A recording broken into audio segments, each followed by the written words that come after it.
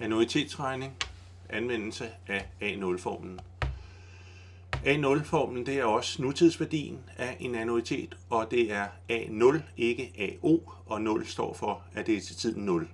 Det vil sige, at vi har A0 her, det vil sige tiden, hvor vi låner nogle penge, der så bliver afbetalt med ydelser herhen af n gange. Skal man bruge AN-formlen, så er det, at man har ydelserne eh, før vi gør tingene op. Forestil jer, I skal spare op til en pension, så er det AN, fordi I skal have gjort det op, når I bliver 70 år. Hvorimod, hvis I tager et lån øh, til en bil, så er det A0, fordi I får pengene og betaler af. Det er forskellen på de her to formler.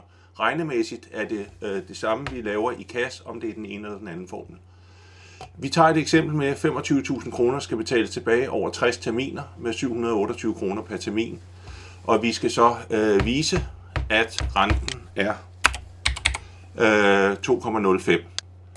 Jeg går ind og siger, at nu laver jeg et matematikfelt. Nu har jeg tilladt mig at skrive formlen ind først. Fordi jeg kan se, at de 25.000, det er A0.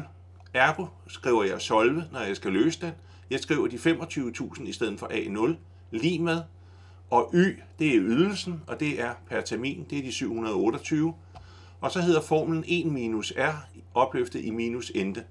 R er den, vi skal finde, så der skriver vi bogstavet R, og minus ente, og det, var, det er jo terminerne, og det er 60 terminer, altså bliver det i minus 60.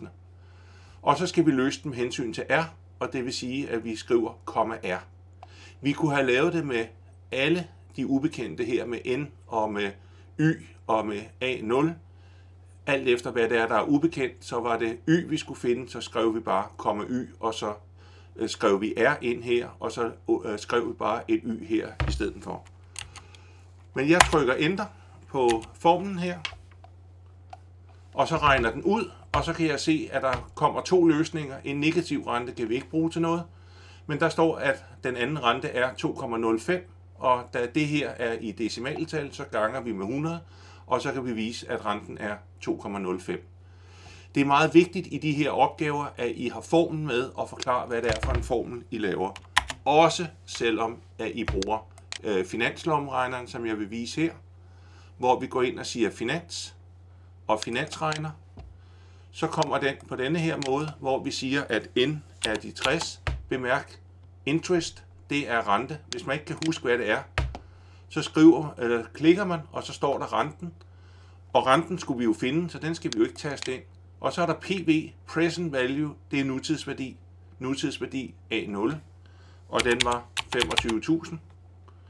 PMT, det er payment, det er betaling, det er ydelserne, og det er lidt svært at huske, men den skal tastes ind negativt. Og så når jeg har gjort det, så stiller jeg mig herop, og så står der tryk enter for at beregne, og så får jeg min rente til at være 2,05 og så har jeg sådan set beregningen på den. Men uanset hvad, sørg for, at jeres formel står, og I siger, at i opgaven, at I bruger A0, og hvis I så skriver formlen op og skriver, hvad der er hvad, så må I gerne bruge finansregneren, og husk at konkludere på øh, resultatet, at nu har vi vist, at denne her rente er 2,05.